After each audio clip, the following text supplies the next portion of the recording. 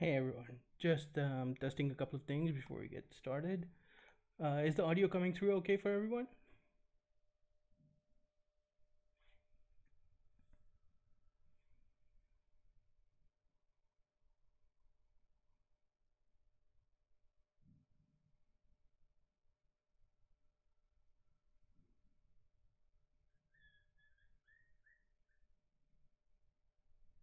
Oh, low, okay.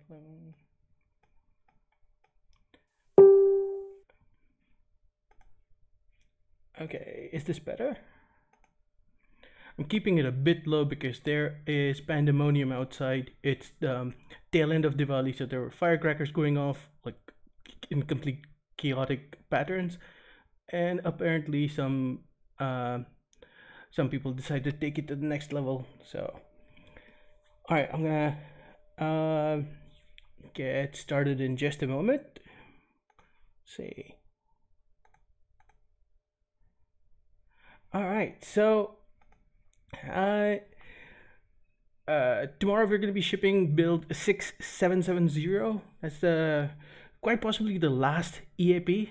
Uh, after that, we're going to go straight on onto the release candidates, which will be a, a, couple of builds where we finalize everything and you know mop up the last remaining bugs, and then uh, it's release time in a few weeks. Um, uh, we'll have exact dates uh, in, in a few days as soon as we can uh, figure out what's remaining. Because again it's for us it's not about like let's set a date and release it then we just want to make sure we can uh, ship a solid product. So whatever you get it's it's usable and you can go into production immediately. So uh, in uh, uh, the the effort to get everything finalized one of the things we had been working on slowly on the side was the interface and uh, some of you who have been beta testing for a very long time might remember we had this really um, white and blue interface uh, a long time ago. Then we had a darker one, and then uh, uh the the most recent one, and then now we we have changed it yet yet again, and it's part of this whole um, iterative development process where we're basically we're just um, in a way having the early access program helps us see what you guys like uh, and and more importantly what you may have to struggle with sometimes. And so by learning from all that kind of anonymous data we are uh, constantly constantly trying to see what we can improve. And one of the things in the interface was um, just just um, cognition or just uh, you know being able to know what something is the moment you look at it. So um, let's let's get started. I'm gonna run the daily build and first of all, you'll see it's a, a, a brilliantly fast startup. Uh, takes like less than a second to get up here. And then uh, the rest of the engine initiates based on what you want to do. So that also makes that startup a bit faster. Uh, the new startup uh, screen is a bit more modern and represents some of the other changes we have made. But most importantly, you can quickly see what your, um, you know, what file you want to open or what you want to do. So I'm going to, um, you know, you can create any new files here or open a quick start, but I'm going to go into a file that I already created for absolutely no reason at all, except that it's nice. Uh, actually, it's not nice. It's, it's, I had nice mountains, as you might have seen in the file names. This is an awesome folding terrain. So first of all, you can see the interface looks a bit different. Uh, in some ways, it still retains the the overall look that it had, but in other ways we have redesigned it uh, from the ground up. And one of the most noticeable aspects of that is uh, the sidebar, the properties sidebar. And you can see it, it has completely new sliders uh, and uh, more importantly, color coding. And so uh, what we want to do is just have color coded groups um, and collapsible groups so you can just quickly recognize what's going on and uh, you know be able to quickly switch between nodes and know what you're changing. Now all of the functionality is still pretty much the same. You still have your little preview on hover so you know exactly what um, value will be set when you click. And for fine tuning, you can always right click and get this interface where you can uh, uh use micro increment buttons and so on. But overall, the uh, you know this has a better hit area uh, and uh, overall responsiveness should be better as well. We also have, um, this is a tiny thing, but useful sometimes. We also have little um, unit symbols. So when things are in um, percentage, which is another thing we've done, everything that was in um, decimals uh, or just, you know, scalar values like zero to one, uh, we've changed them to a percentage. So you can now have zero to 100% on those and then in others there will be meters and degrees and so on. Uh, the other uh, uh, uh, uh, difference is the toolbox. Now that's something we've tried several different things and we've asked uh, a lot of you questions and you guys have been, you know, so great with your feedback and you know, we, we, sometimes we we aren't able to act on something you tell us immediately, but we do log all of it and we go through all of it every time we're thinking of uh, uh, you know making design decisions. So uh, first of all the icons weren't helping as much as um, you know they could have. And so we're now giving an option to not show icons and instead have these um, category symbols. And you can then just read the names. Uh, you can also accommodate a lot more in a small space. And of course the groups are still collapsible so you can keep things collapsed and it'll remember what uh, you know what your collapse status was. Uh, and uh, the rest of it is still the same. You just drag drop and it just works and has new colors. So uh, another small uh, uh, but like the tiny things that we are doing is uh, you know obviously these um, splitters were not easy to find so they're now highlighted. And of course here you the sidebar is a different color so that will help as well and then the buttons got a makeover as well. So we're trying to show importance by whether something is flat or raised and in raised button groups uh, you know they can be grouped together and the most uh, frequently used things can be uh, uh more visible because they're they're a little lighter. And one of the things uh, that we were able to implement based on your feedback was a suspend button. So you can now suspend the engine. So you can go in and you know make whatever changes you want to heavy nodes or well any nodes. I'm just gonna go back to full change the scaling and then when you're ready you turn it back on and it will apply all the new settings. Uh let's see what else did we do? I've been in it for so long that I don't uh, I'm, I'm unable to differentiate what's new and what's not we've had a build with this for a couple of weeks now and have been playing with it and so far it's we're enjoying it and um, hopefully you guys will too. And anything that you still want us to improve you know once you try this out let us know and uh, you know we'll, we'll do our best to get it in. And um, oh yeah so another thing that we wanted to add uh, is UI scaling. So right now this scales based on your DPI so my DPI currently is set to I think about 125 and uh, but sometimes that's still not enough. So you can let me see let me select something so we can see the change right now there's this slider here which may undergo a few design uh, changes by tomorrow but there's uh, this is your scale slider and when you increase it the entire UI becomes scaled and this probably looks a lot better on a 4K or 8K display, but you get the idea. This is like whatever you want it to be. And it's pure vector, it'll scale uh, to whatever uh, screen size you have. Uh, there are obviously, uh, you know, plenty of, uh, let me make this smaller so I can see what I'm doing. Uh, there are plenty of other changes as well under the hood. as always, we try to make a few things faster. Uh, and erosion, Daniel's been working hard on this, so there are lots of uh, subtle changes here and there. But most importantly, um, one of the missing things was uh, erosion would not show progress in certain instances, and then it felt like you know it took a lifetime, which it rarely does. So now, when you change erosion, uh, uh, or sorry, when you apply erosion, it will show you progress in in all instances. Uh, same thing for Snow and um, most other devices. The few that still don't have progress, we're working on it and, and we'll have it soon. Uh, and then uh, uh, the last couple of builds, there were a few issues with mask, so those have been fixed as well. So you should be able to build properly, and uh, even the build engine has undergone a few uh, minor changes. So overall memory efficiency is going to be better.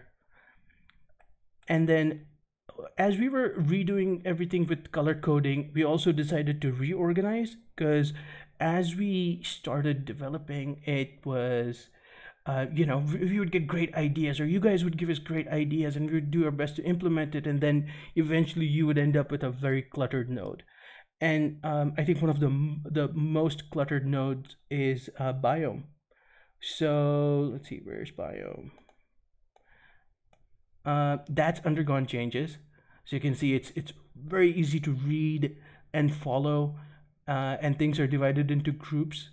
Uh, you can see the same thing happen in erosion. So you know if you're not messing with something, you can just close it. Uh, Gaea will remember your settings, you know, uh, uh, per node and what you've changed, what's collapsed, what's expanded, and so on and then with this we can now have um, you can see how the color coding works here. So you can easily identify between these three sliders. And then also you can if you don't want to mess with something you just turn it off. So um, with this hopefully you'll be able to uh, uh, work uh, more efficiently in Gaea. Now there are some things in biome I know I get asked about this a lot is like uh, well first is of course how do you use biome and the second is uh, you know what does this or that do?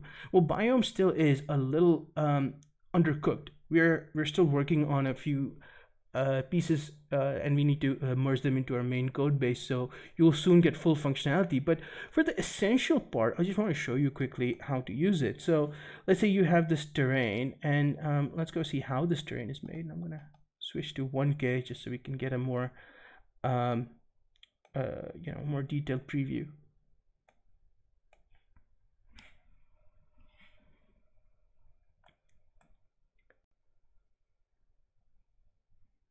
Okay, so this is our general terrain. Uh, well, it looks a bit different because I changed some of the settings, uh, but it, it's fine. I'm not gonna, you know, really revert uh, to anything. I'm just gonna, I'll try one thing and then we can just go and add biome. I'll show you how you know you could use it very easily. So um, that that was actually the main thing. Uh, I was working on a bunch of different things, and I had to create textures, and I would just do the same old things over and over again, and then would have to use a couple of different applications to get the right kind of um, uh, texture maps I wanted. And so figured biome would be a great way to encapsulate a very large part of that process. And so biome as the name suggests, is is about growing things, and uh, it's uh, it's going to be like water based always. So to create biome, you need to give it water, uh, and uh, uh, let's see. I know some of you guys are uh, have questions. I will definitely get to those in just a moment. Um, I'll, I'll just finish this first, so please don't feel like you're being ignored. So okay, first I'm going to create a biome node. Just leave it to the side. It's okay. Not going to do much to it right now. And then uh, let's make some water, uh, or water source rather, for biome to uh, build on top of. And usually, um, this is how I do it. So either flow or velocity is great. I'm, I'm just going to pick velocity in this case, but uh you know you can you can pick either. They both have different um, useful things. Like with velocity you get rainfall in a way and with flow you just get water flow. And so because i want this to be a bit more uh, starker on on this side uh, i'm going to use velocity. So let's see. This is just the default is fine for now. Uh, the second thing i want to do is use the growth map and again, I'm putting it on our height field so it can read the height data and then create uh, its map uh, from there. So with the growth map, it's basically creating uh, places where vegetation would grow. Right now, this is it's it's growing everywhere. It's you can see it's pretty intense. Uh, if I change the slope, you can see just a little bit of a difference. It's now spreading everywhere. Uh, and and uh, I'm just gonna uh, go half on the duration just so you can see the difference.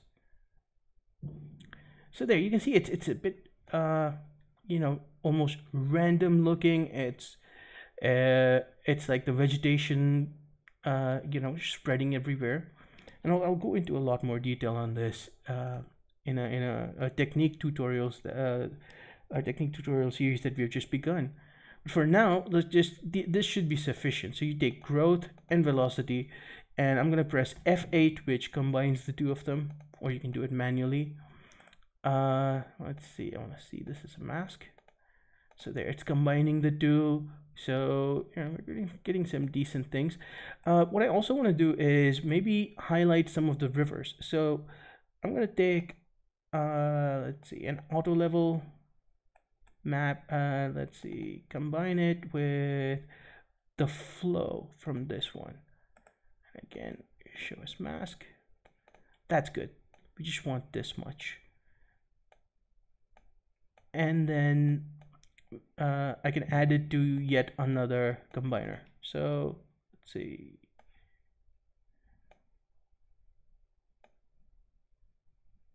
This goes here and this goes here. So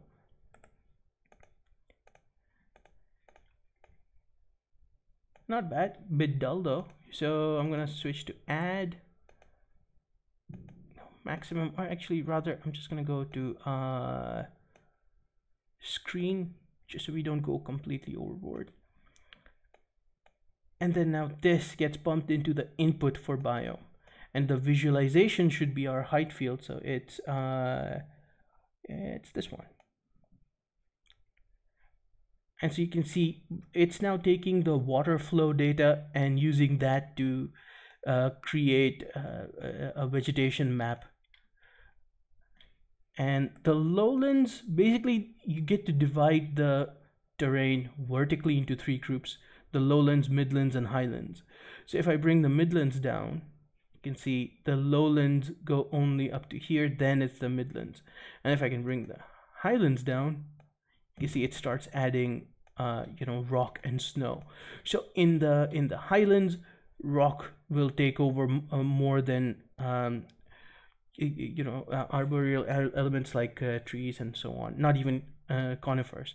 Conifers would be more towards the midland uh so that's that's a bit too much. Or then again depends on what kind of things you're making. So you could go really low with this. Or instead you could just turn it off and that part doesn't get processed. And that is a bug so that's why it's not it's still processing. So i'll just leave it on so we can control it. Uh bring the lowlands in as well. Yeah, hopefully we'll be able to fix that bug uh, by tomorrow for the for the new build. So you can see we're getting a bit of snow and we're getting uh you know uh it's the the map is a bit dull. It's not like totally bright so let's say okay this is good and this is of course this is not meant to be your final texture map. Not at all. Uh, so now we're going to change the colors a bit and that's also pretty simple. You can see everything is represented uh, in hard colors because in a way this is like a super splat map.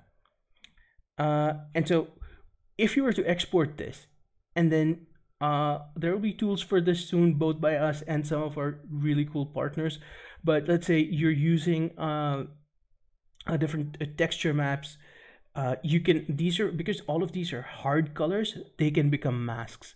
And in maybe a build or two you will be able to save all the different um, uh, biome zones as individual black and white masks. And then you can combine them however you want. And then you can just take it into your um, you know game or uh, DCC app uh, however you want. And then just replace each pixel with an actual uh, material uh, and so we'll go, go into details on all of this uh, in a little bit. But uh, so here, what I want to do is I'm, I'm not really happy with this sand everywhere.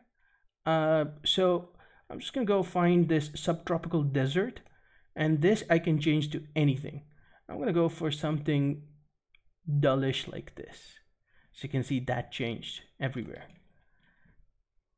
and so that's a bit better and I also don't want snow here because I'm going to simulate that myself later so again go to snow and you can again make your own color if you want that's too dark.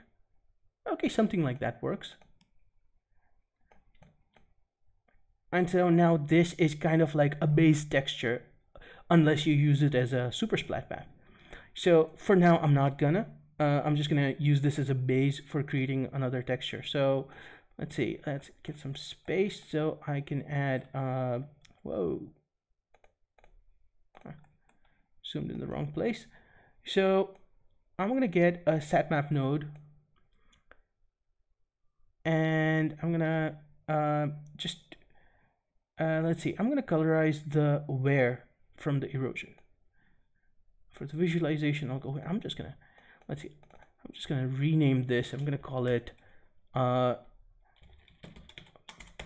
final. Just so I know what node I need to connect uh, with. We'll put it up here a little. So anyways okay. I'm in my satmap uh, node and there's plenty to choose from. Uh, let's see. I don't need any of this. Let's try a couple of different things that's not too bad because I'm looking for something that we can merge with our uh, biome so all of these are too red deserty uh, maybe something like this. Oh no, that's still too brown. Uh, okay, I think I'm gonna go back up and pick one of the greener ones like this or this. Oh, this one should do.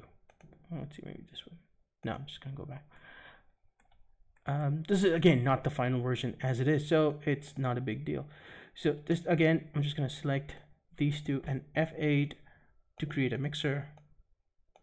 So now you can see we, we're getting a bit of both. The, the sat map is showing through. And let's see if we can make it a bit more. So there. Now that's something that, you know, sometimes you may have to um, uh, work on is like the sat map looks too clean. Like that is okay as something to start with, but that you would never want this material shown on your um, on your terrain. But then you combine with combine it with biome, and then you start getting like uh, variations. Uh, you can also choose your blend mode. So let's say maybe you want to go to, oh, that's too much. Uh, maybe not multiply. Uh, I'm gonna go for min. And so, you know, that help makes it a bit dull. So anyways I'm, I'm gonna go back to blend just keep it as it was. So that's good. That's that's just one. And uh, let's see I'm gonna create one more. And this time I'm gonna use surfacer. Um, or actually I should have just dropped it on surfacer go okay there should have just dropped it on final so it connected itself so with surfacer uh, there are a couple that I really like. Like Wind Streaks is good. gives you all these lines. when gonna increase the strength. So that's cool because this is so dull looking. You want to have a bit of something on the edges. And so I'm gonna pass that on to a clutter node. It'll map it to a gradient. Uh, that's that's a bit too um, white, I think, too bright. So, okay, this is good. And combine these two. Oh, definitely not that much.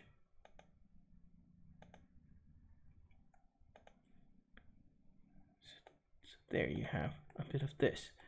And then again, we still have the same components uh, in growth uh, or the growth and the velocity components that we used in our bio. So you could just as easily get a, a satmap node and hook it up to um, the growth. Let's see, visualization goes to final. And this one, I think we could go for something a bit different than the previous one maybe not this, but let's see. Let's go hunt ourselves a gradient. Oh, okay, that, that might work. So get these two, mix. And I apologize right now for the ugly, ugly graph. I'm not organizing things as I should. Let's see, let's try to get a good blend between the two. So that's not bad. And then now I'm gonna go and blend it again with Biome. Mm, let's see. Just a little bit. And so this is a uh, you know a usable texture map especially if this is distant you may be able to use it as is uh, the noise that you see here that's only because I was too lazy and I didn't add a floor. Uh, so it's flat. It's like it's that flat. Uh, otherwise you'd be able to see so much more. So but this this gives us uh, if I increase the brightness you can see this is already usable especially if you have a distant terrain. And let's see it from a few different uh, sunlight angles. This is something I love about terrain folding. It's like these these awesome slanted slopes that it creates. And so this is more or less ready for export. Uh, and that's all I have to show for today. There will be hopefully there will be more stuff tomorrow. Not sure I'll I'll be able to live stream it, but we'll definitely post and um uh, we'll also have a blog post coming out with a bunch of things. And uh, let's see. So, okay, let's see. There was a, there were a couple of questions. So, Josh asked if uh, we're gonna have scripted or just command line builds. Uh, command line builds are already possible. So, um, with uh, with Gaea, you get um, gaea.build.exe. That's uh, you know when you go build and you start. That's what you're gonna uh, you know, launch. So if you just give it a command line like, uh, uh, let me see, okay, let me put this here. So if you call, uh, let's see, gaea.build.exe and then give it, uh, again, make sure this is always in quotes. You give it C, mm, you know, my folder, my file, dot tor, it'll work. It'll just take it, build it, and spit it out. Um, as you have set it in the build manager. So you have to make sure that you set your, uh, oh, oops, double modal. Uh, you have to make sure you have set your options here because you still can't pass it by command line just yet. Uh, so whatever you need to do, just set it here and save, and then you'll be able to uh, just just build it. If you have the enterprise edition, you can save in the open format, which uh, is an XML open format, so you'll be able to modify the entire Gaea file however you wish. Uh, and then of course, then send it to the command line renderer to build it.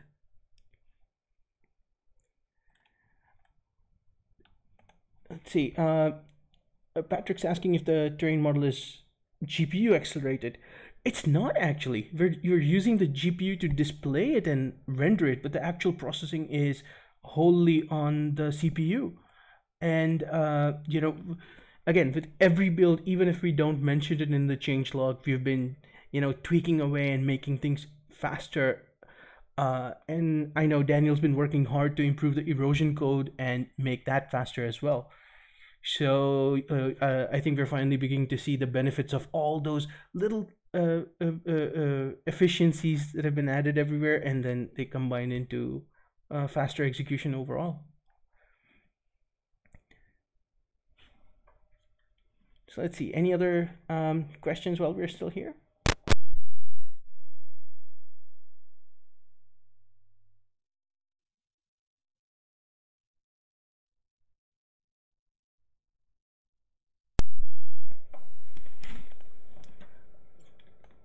By the way, if um, you guys haven't tried the mutate node, that's pretty awesome.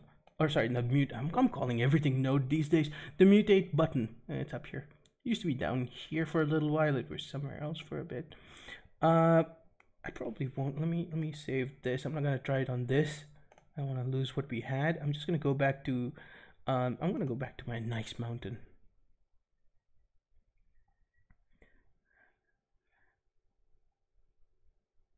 Okay, so Huh, that didn't refresh.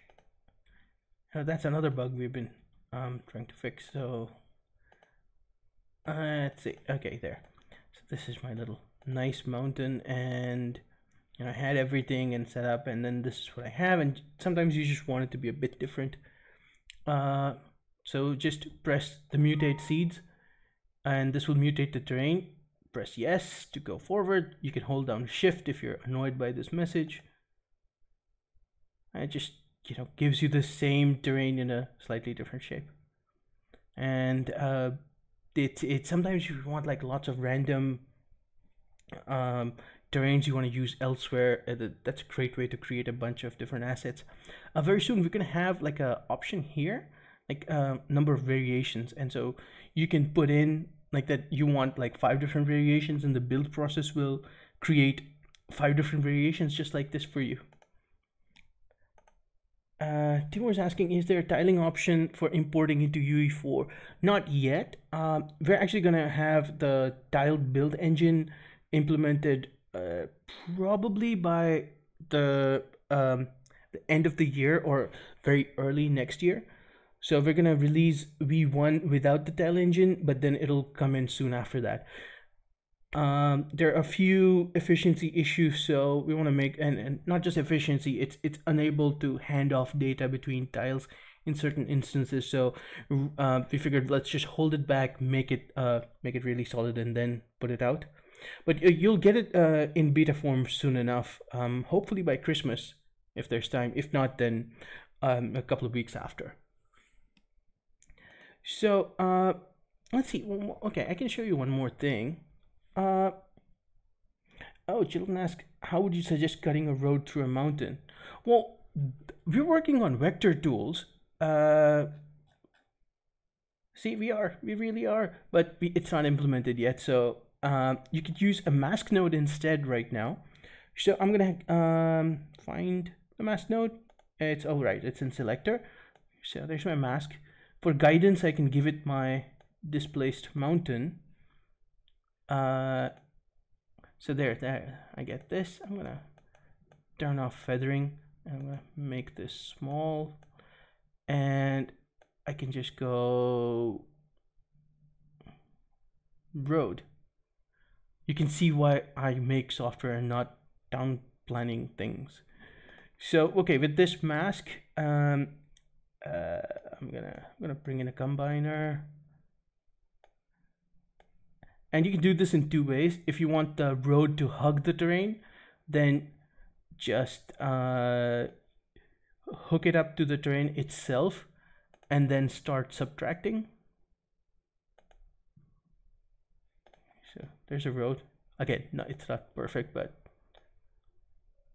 God, what, what's the incline on this? Do you need the Batmobile with afterburner to go up here or something? I don't know. Anyway, so you could get this. Or if you just want to straight cut through this, then um, create a constant and hook that into the second input. So the constant is this much.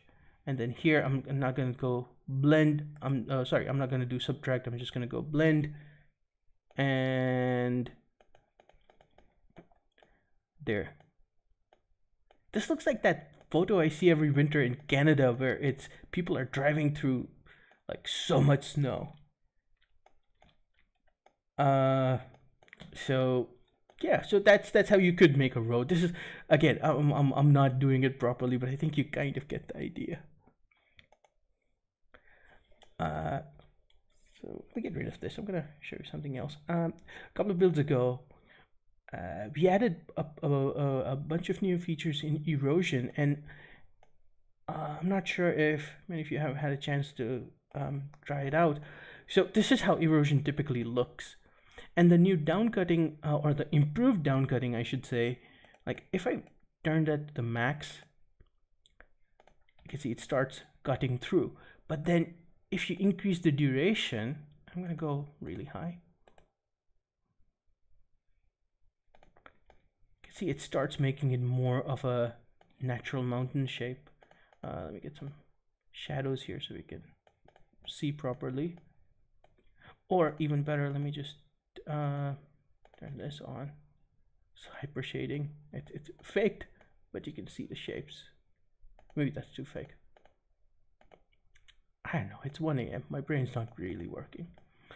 So it makes it like this. And then I'm gonna remove the inhibition. The inhibition basically stops down cutting at certain points. Uh, so I'm gonna turn that off and I'm gonna make the rock a lot softer. I'm gonna increase the strength as well and maybe decrease the duration a bit because I don't want to destroy this. And there, when you have uh, you know a lot of strength, a lot of down cutting, and uh, you know a decent amount of duration, you start getting mountains like this. And uh, this is exactly what you would see if you open up Google Earth and go to any of any decent mountain range. So that's the kind of natural uh, uh, I don't even know what to call it. Uh, the well, let's say I don't know what to call it right now because I've been dealing with lots of different terms, and geology is not compatible with my brain, or rather, geological terms are not compatible with my brain. See, that's what I'm doing. I don't know words right now. So basically, this makes mountain look good. Uh, but no, really, it's it's um, you know we're trying to replicate nature and um, this is all daniel's erosion so he's been able to make it so that uh, uh, when you have a large mountain receiving a lot of rainfall and the rock is soft and it's there's a lot of down cutting which is like these um, you know these uh, strong lines that you see everywhere and also in real life so when you have that uh, this uh, this is what it starts to look like because this is also what a real mountain would undergo in such circumstances. And so with this, if I were to increase the inhibition, and you can see how fast this is. So that, that's another uh, really nice improvement. So if I remove the, uh, if I inhibit the downcutting a bit, you can see the lines aren't that strong. There's a bit more soil flow along with the downcutting. So that's nice. Um, I usually like to have it somewhere midway, but depending on what you want to do, you can go really low, like have no inhibition at all, and then you get this, which is sometimes really cool for maybe if you're making a volcano or uh, you know an aerial map of something, and then of course you can go you know very high on the inhibition, and then it just looks normal. There's no downcutting at all, but somewhere in between, I think that looks pretty cool. And of course you can imagine we're getting uh, a really cool flow map out of this well like this. And then also deposits and wear so lots of great color possibilities as well. And then uh, also you get different results with scale. So while while you have real scale on which is on by default it's always processing things like it would in uh, the real world. If you turn it off, you can change the scale of the terrain. You can change the scale of the uh, features, which is basically all these geological shapes and modifications, and also how tall the uh, the terrain is. Now, now you can do that for the entire terrain here, but that's not what we're trying to do. So, oops, I accidentally applied, and you can see just with these changes, this terrain became very different. And so that's what you can achieve, like um, with uh, you know, let's say if you're making an alien world or you just want to create something that's believable yet slightly otherworldly, even on Earth itself. So if I go a quarter of the feature scale and apply, you can see the, the number of features increases because it's subdividing into smaller and smaller features and eroding it as such. Uh, if I double the verticality, I can see more soil flow because it's um, assuming the mountain is taller and a taller mountain would have more um, material debris what have you to flow. And then there's of course the terrain scale.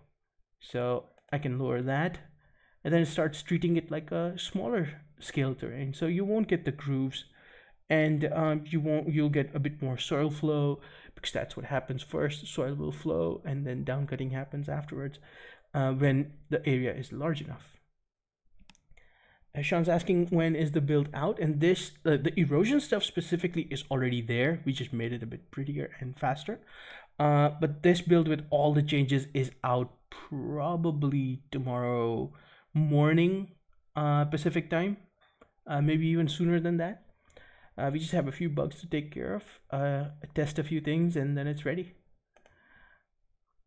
And you might notice performance mode is now not just a, a checkbox or a toggle. You can actually choose how much uh, performance you want.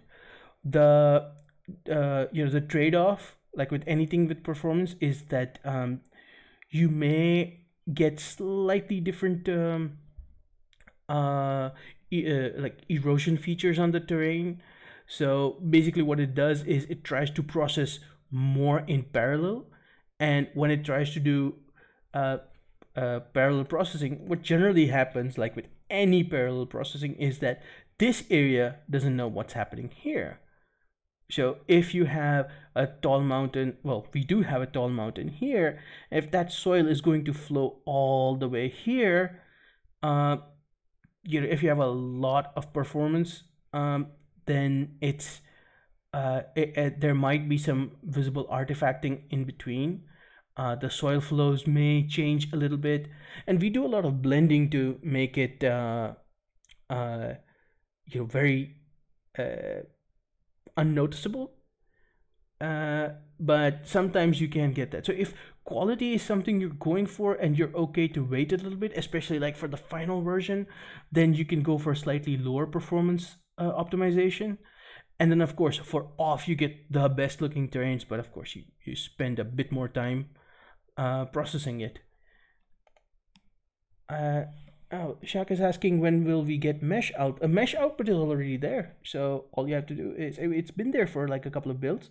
So you just there's a Mesher. just give this a Mesher. Uh, select what format you want. I mean, right now we only have OBJ, and um, you can even have LODs.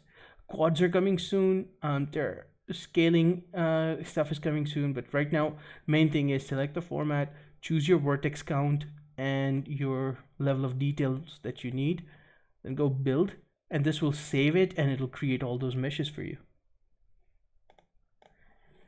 Um, the other things, uh, you know, I really want to add here is uh, we already have FBX in the works, so you'll get um, I think we're sticking with FBX 2014 or 2015. I forget. Uh, probably 2015, just for compatibility reasons. So people who are on slightly older versions of other things can use it. And um, uh, in my experience, 2015 was a bit more stable. In any case, everything should be able to com- uh, consume it because we're not transporting animation or anything like that. It's just going to be a, a good mesh. That's all.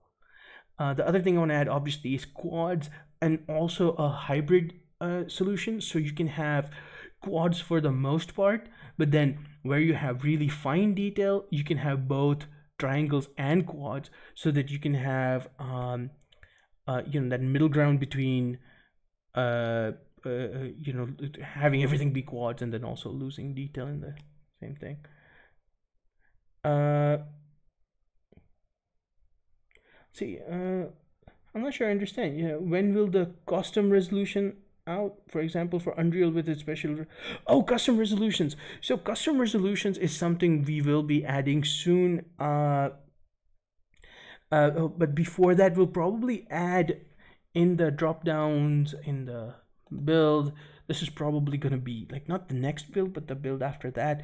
Um, we'll add all the uh, the special options for unreal so at least you'll be able to consume that and then custom resolution will come in later.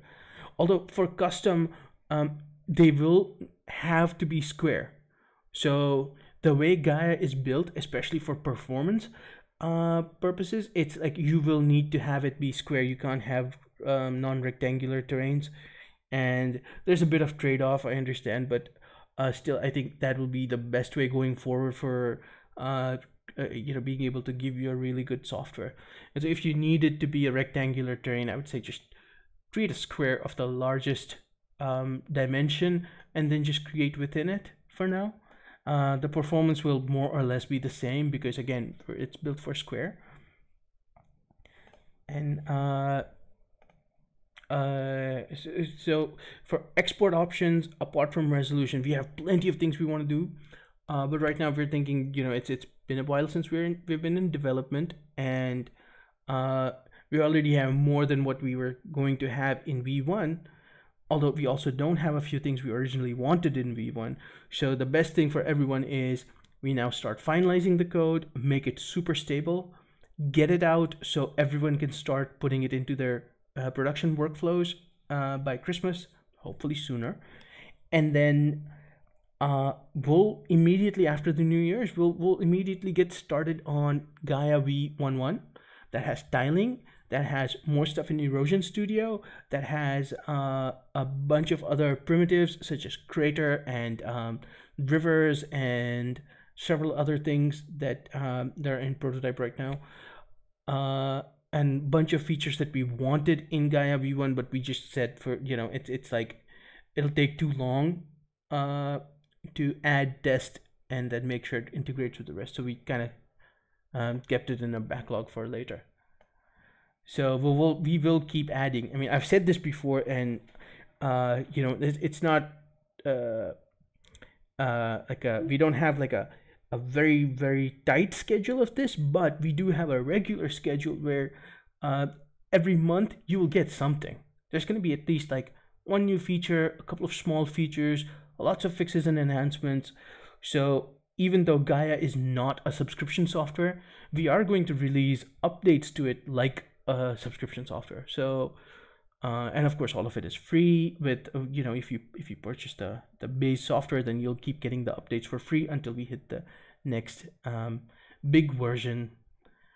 And uh, so there, there there are so many features.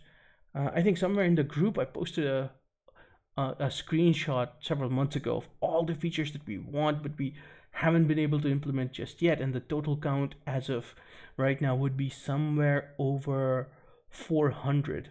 So there are 400 features we haven't been able to implement yet. So we'll be we'll be adding all of those um, quite regularly. So let's see. Any other questions?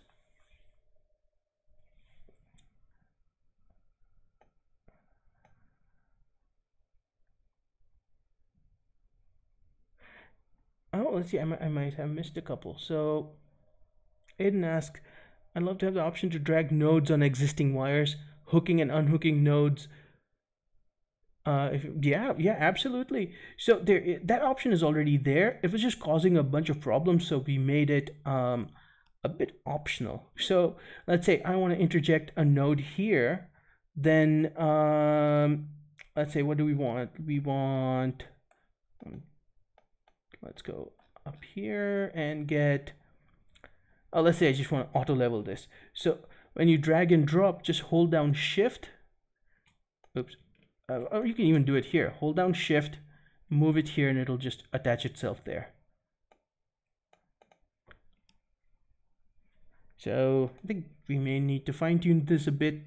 Uh, it's probably already on the books for the next couple of uh, builds where we're mainly focusing on fine-tuning interactions and so yeah this will this um, interjection should be able to do what you want. Uh, one thing you want to be careful of is not to have too many overlapping lines. Otherwise it will try to reconnect whatever it overlaps. It's a bit easier if you're using uh, the uh, one of the other the smaller uh, node styles. In this large one like it's it's easy to overlap too many things. But at least uh, the you know you should be able to get uh, the basic um, stuff that you need